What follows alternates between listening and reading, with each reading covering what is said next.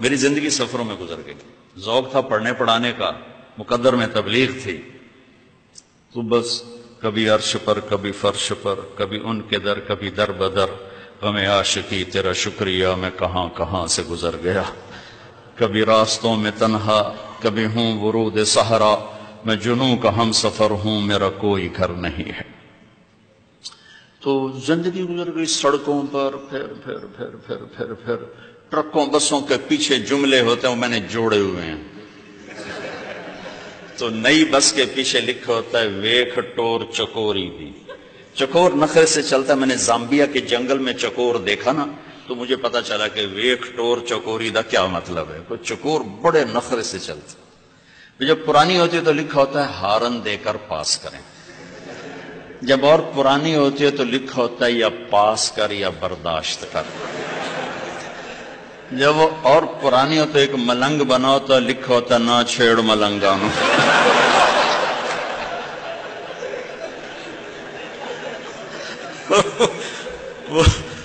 پرانی کو جب رنگ روغن ہو جاتا ہے تو پھر لکھا ہوتا خدا نے ایک بار پھر دلہن بنا دیا۔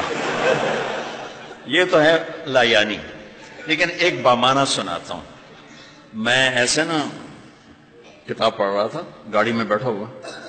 تھک کے نا میں نے ایسے سر اوپر چیر اوپر اٹھایا تو ہم ایک بس کو کراس کر رہے تھے اس کے پیچھے ایک جملہ لکھا تھا جس پر میں یہ وہ سناتا ہوں آپ کو کہ کیا کمال ہے لکمان کی حکمت اس نے سمو دی لکھا تھا دل بہت بڑا سرخ رنگ کے ساتھ دل آگے لکھا تھا برائے فروخت برائے فروخت نیچے لکھا تھا قیمت آگے لکھا تھا، ایک میٹھا بول۔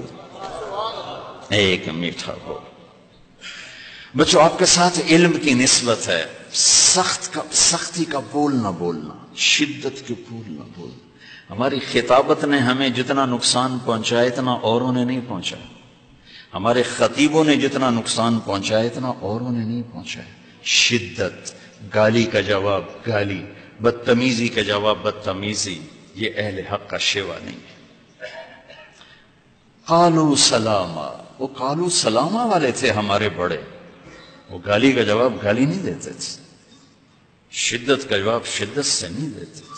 بدتمیزی کا جواب اخلاق سے دیتے تھے۔ اور سارے تزکیہ کی انتہا حسن سلوک اور حسن اخلاق، سلوک کی منزلوں کی انتہا ہے، اخلاق اچھے ہو جائے نرمی اختیار کرنا۔ اللہ کہیں ممبر پہ بٹھائے، اختلافی مسائل پہ تقریر نہ کرنا۔ یہ وہ جو لوگوں کی جو ضرورت ہے وہ لوگوں